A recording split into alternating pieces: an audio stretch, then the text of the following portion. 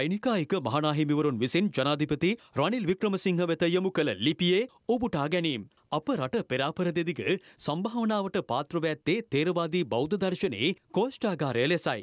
සහස්්‍ර දෙකට අධික ලක්දිව සාඩම්බර ඉතිහාසේ ශ්‍රී විභූතිය ලොවට ප්‍රකාශ කරන ජීවමාන සාධකය වනුවේ දිවයින පුරා පිහිටි ඓතිහාසික බෞද්ධ වෙහෙර විහාරස්ථාන බව නොරහසක්. අද වන විට දේශයේ අධ්‍යාත්මික ශික්ෂණය උදෙසා මෙන්ම ආර්ථික දියුණුව උදෙසාද දිවයින පුරා පිහිටි බෞද්ධ වෙහෙර විහාරස්ථාන තුළින් ලැබෙන පිටිබලය ඉමහත්ය.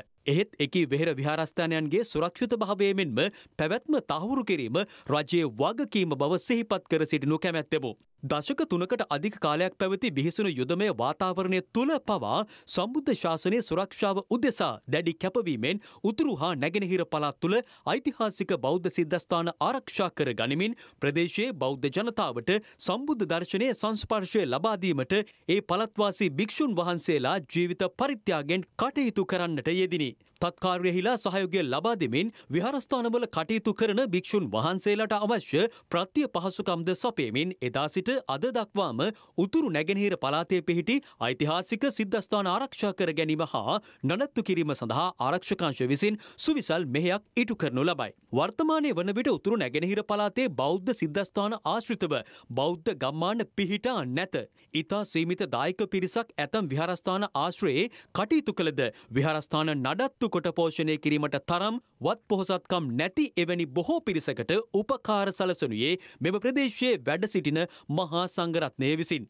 එසේම පසුගේ කාල වකවානුව තුළ දිවේනේ අනිකුත් පළාත්වලද සුවිශේෂී ඓතිහාසික වැදගත්කමකින් යුත් විහාරස්ථානයන්ගේ ආරක්ෂාව හා සංවර්ධන කටයුතු සඳහා ත්‍රිවිධ හමුදාවන්ගේ සුවිශේෂී දායකත්වයක් සපයා දෙන ලදී.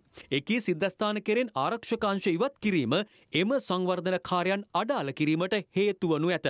එයින් උතුරු හා නැගෙනහිර පළාත්වල මෙන්ම දිවයිනේ සෙසු පළාත්වලද පිහිටා ඇති සුවිශේෂී ඓතිහාසික වැදගත්කමකින් යුත් බෞද්ධ සිද්ධස්ථානවල සුරක්ෂාව හා සංවර්ධනය උදෙසා අනුයුක්ත කර ඇති ආරක්ෂක හමුදා නිලධාරීන් තත් අවශ්‍යතාවයන්ට අනුරූප පරිදි එකී සිද්ධස්ථාන ආශ්‍රයෙහි යෙදවීම යෝග්‍ය බවත් එසේම උතුරු නැගෙනහිර පළාත්වල විහාරස්ථාන ආශ්‍රිතව පවතින හමුදා කඳවුරු එම ප්‍රදේශයන්හි සුරක්ෂාව උදෙසා එලෙසම පවත්වාගෙන යාම සුදුසු බවත් කරුණාධ්‍යාරයෙන් යුතුව දන්වා සිටිමු.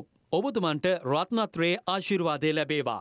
අත්සන් කළේ මල්වතු මහනායක අතිපූජ්‍ය තිබ්බටුවාබේ ශ්‍රී සුමංගල හිමියන් අස්කිරි මහනායක අතිපූජ්‍ය වරකාගොඩ ශ්‍රී ඥානරත්න හිමියන් අමරපුර මහානිකායේ මහානායක අතිපූජ්‍ය දොඩම්පහළ ශ්‍රී චන්දසිරි හිමියන් රාමංජ මහනිකායේ මහානායක අතිපූජ්‍ය මකුලෑවේ ශ්‍රී විමලාභිධාන හිමිපාණන් උපුටා ගැනීම් අවසන්. රටේ ලෝකෙ සිදුවන උණුසුම් පුව දැනගන්න සියත නිවස් YouTube චැනල් එක අදම සබස්ක්‍රයිබ් කරන්න.